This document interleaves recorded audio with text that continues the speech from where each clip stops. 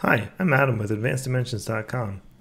I'm going to show you a simple video of what's after you scan for a countertop. So I've taken the 3D disto out, I've scanned my walls, and now what's the next step? Currently I'm using AutoCAD, um, however this will work with any CAD software um, as you're just going to open up the DWG file or the DXF file that the 3D disto software exports I'm just going to step through these and show you how, how it works for me and when I go out and I do my scanning.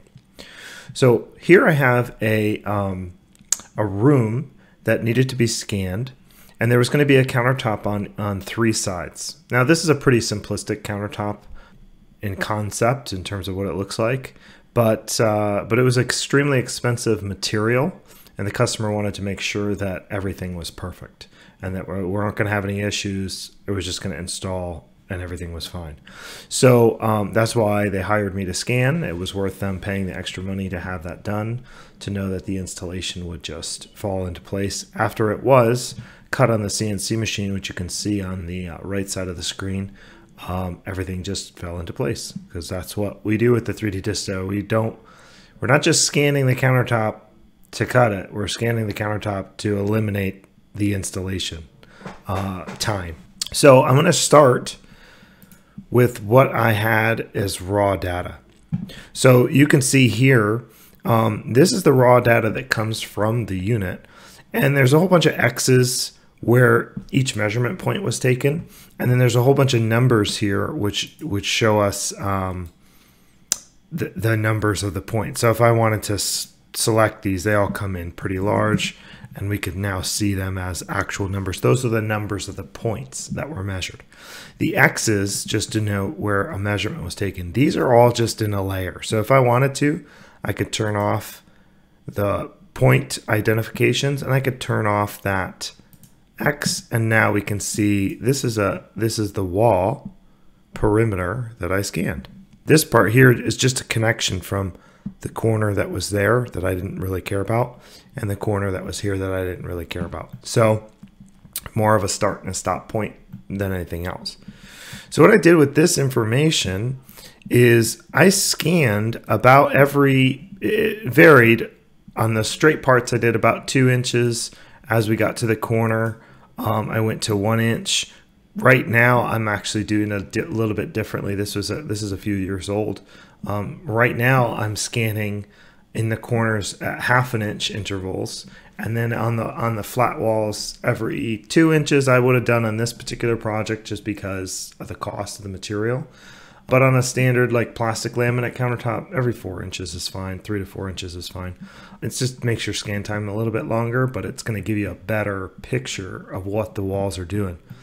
So I've taken this information and I've copied it. I just I just turned off those layers and I just copied this and I stuck it in this worksheet. And that's what this is right here. I, I scaled down the, the points and I scaled down the, the numbers here, but that's what this is. The only thing that's different is if you remember, there was a line connecting right here that's at the top in this. I just rotated this 180 degrees so that I could work on it this way. So what I'm going to do is I'm going to step through this process with the original data and just show you how how easy it is. Typically it takes, you know, 15 to 20 minutes to scan a countertop and takes me less than 10 to do this. It's going to take a little bit longer now just because I'm explaining it, but you'll see. So I'm going to copy this down 200 and now I'm going to start stepping through the motion. So this is the raw data. These are just lines. Uh, the points are kind of in between where the lines are connected. So what I want to do first is I want to just turn off my points and I want to turn off my ID, um, which is red. There we go.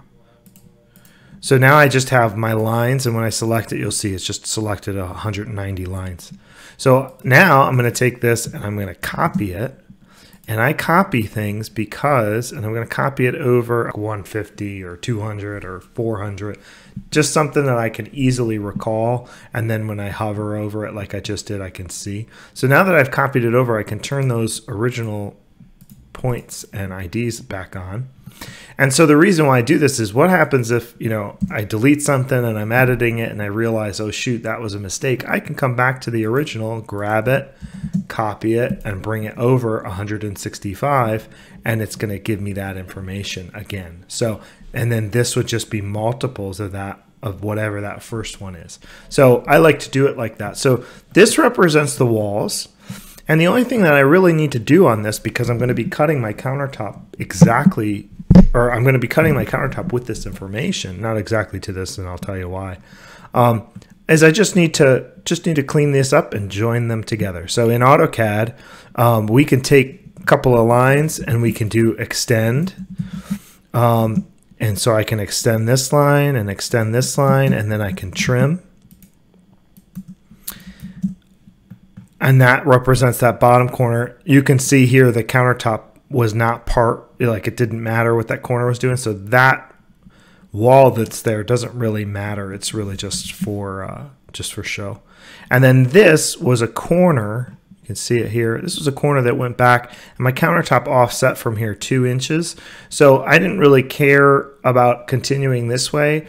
I just cared about where the exact corner was. So this point that's here is the exact corner and so I'm just going to pull this this way. It doesn't really matter just a little bit that way. So now I just do a little bit of wall cleanup. This is me. I'm a little OCD when it comes to AutoCAD. And now I want to take these individual lines and I want to join them together to make one continuous polyline. So I'm just going to highlight them all type in join. And now these are a continuous polyline. Looks like we had looks like we have a little bit of an overlap here. So easiest way to fix this is just pull this out, hover over it until you get that box. And now I'll hit join again. Sometimes I'm not sure why, but and now that's a continuous polyline all the way around. Now in this case, I offset for the shading. I'm going to skip that step. Um, now I'm going to get into the countertop. So I'm going to copy this again because now I have my clean walls. 165. Oh, now I changed it. Jeez, I don't know what I was thinking before. It doesn't matter. I'm going to continue with the 165. And now I need to now I need to start figuring out where my countertop is going to be. So there's a few things that I've gleaned off of the architecturals that are going to judge how things are working here. One thing is this back counter is got a target depth of 24 inches. This is a desk. The side counters only have a target of 20 inches. Now, in this particular countertop, there this is a solid, or this was a wood countertop, um, and they had a solid edging on it. I won't, I won't assume that in my uh, in my walkthrough of this, just because uh, we'll save a couple of steps, and the concept is still the same. So I got a 20 inch counter on the left and the right, and a 24 inch on the back.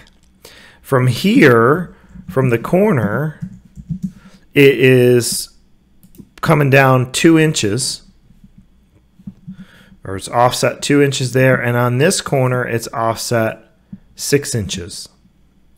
And then we got some miters. So that's what we're going to work with for the countertop for this next step.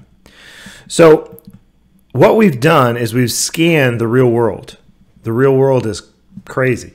It's it's crooked. It's not square. It's not true and so what we need to do is we need to kind of bring in, just like we would if we were bringing in our real material that's perfect and nice, and we were scribing it to the walls, we're going to do the same thing, but we're going to do it in AutoCAD. So what I need to do is I need to develop some straight lines that we can work off of. And those are called construction lines in AutoCAD, and the command is XL. If you type, if you're using a different CAD program, type in construction line. You could use a normal line. I use construction lines, and I'm going to say, hey, I want to do a horizontal one. So this gives me a line that goes forever and ever horizontally. And I'm going to just pick a point on the back. Doesn't really matter where, just pick a point. Now I'm going to do the same thing, but I'm going to do it vertically. So here's a vertical point and a vertical point on this side. And what we'll notice when I zoom in, see the wall goes in, the wall goes out, the wall goes in, the wall goes out. There's deviations. Well, the front of our countertop can't do that. The front of our countertop's got to be straight like this line that I just drew is. Same with this. So this one we got a little bit of a deviation in on this side and out on this side. And I came to find out that when I straightened that this room out, everything got a little wonky. So that's really the way the wall goes. So I'm going to just leave it that way because these two lines here, this line and this line are parallel. Uh, pretty pretty close to parallel. When you when you go down through here, you can see it goes in, goes out, but it's pretty close. If we zoom zoom really in, and I take a measurement on this deviation, we're at you know, we're at 0.00092. So it's really tiny deviation. So anyways, that's that's these are representing the front edge of the countertop. So what I need to do is I need to offset my 24 inches in the front or in, the, in that one, offset 20 inches here and 20 inches here. Now we can kind of trim this up.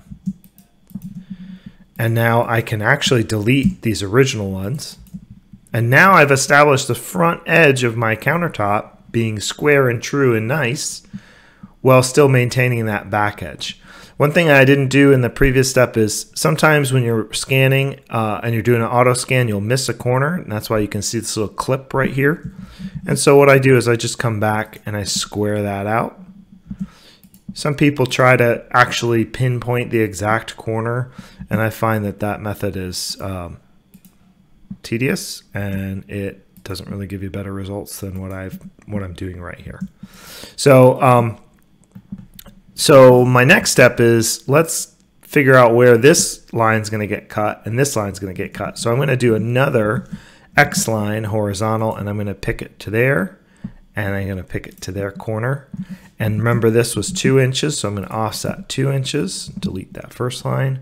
And this mhm. was six inches, so I'm going to offset six inches and delete this line. And now I can just trim these up and trim these up. And so now I have my, and I'll trim to the back here too. Now I have my front edge established and I can join this.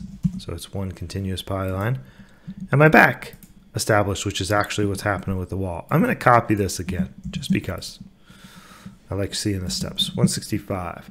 So now the next step is we got to kind of clean this up between the front and the back and what's getting cut. The, the thing that I've found is you don't want to actually cut to the exact wall because what happens is uh, the counters would get so tight that they wouldn't fit because it's a perfect fit. So what I do is I offset and I offset uh, anywhere between a 32nd and a 16th of an inch. So we'll go a 16th of an inch just so you can see it. Sometimes 32nd gets a little small. And then when I offset, I zoom right, right in and I just make sure that I'm pulling to the right side of the line. So now I can come and I can do some trimming. So this is going to look the same when I zoom out, just maybe a little bit thicker. So I can come in and I really want this ed, uh, this line here oops, this line to trim like that. That's the end of my countertop on this side. And this is the end of my countertop on this side. So now I have my wall. I have my scribe cut at 16th of an inch offset, and then I have my front edge of the countertop. So I'm going to do one last thing. I'm just going to join this together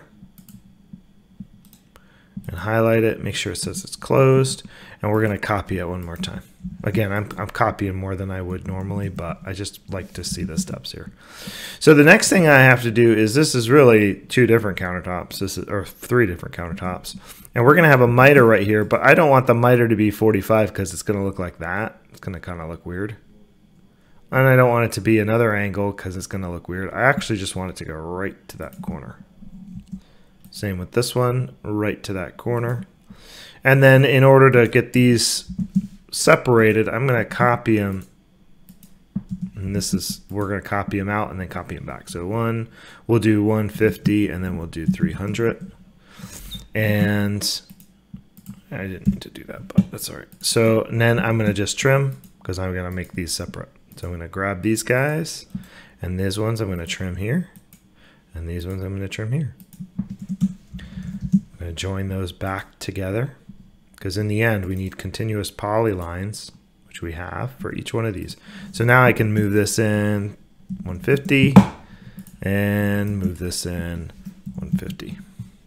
So now, so I've gone from raw wall, cleaned up wall, cleaned up wall with the front edges. Now I've isolated what the countertop's going to be. And now I've got my three separate countertops. Then I take these and I nest them on my CNC machine, cut to those or break them up in any pieces that they needed to be broken up into. But this shape, this this this boundary is exactly what needs to get cut on the CNC machine.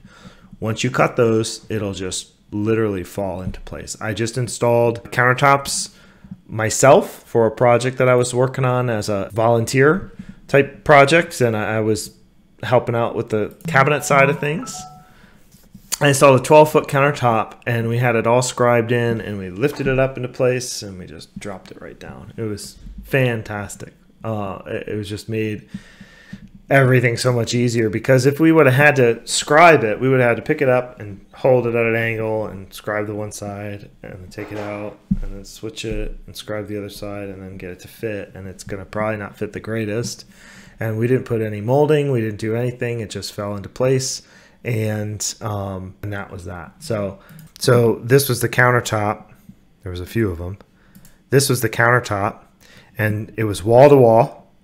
These were lath and plaster walls, so that they they were just not lath and plaster. They were just actually plaster because this was a school, and this was just all over the place. Um, and then this corner here had a notch for some trim that was there that was existing. This is what it looks like. I did a 16th of an inch offset. And it looks like, oh yeah, that just looks like a nice straight wall. No, this is actually what the wall was doing. See up here, the up up above? That's a straight line. That's how crazy that wall is. That countertop lifted into place, dropped, dropped right in. So um, hopefully this video helps. Let me know if you have any questions. Again, I'm Adam with advanceddimensions.com. You can always email me at adam at advanceddimensions.com or, uh, or give us a call. Uh, thanks for watching.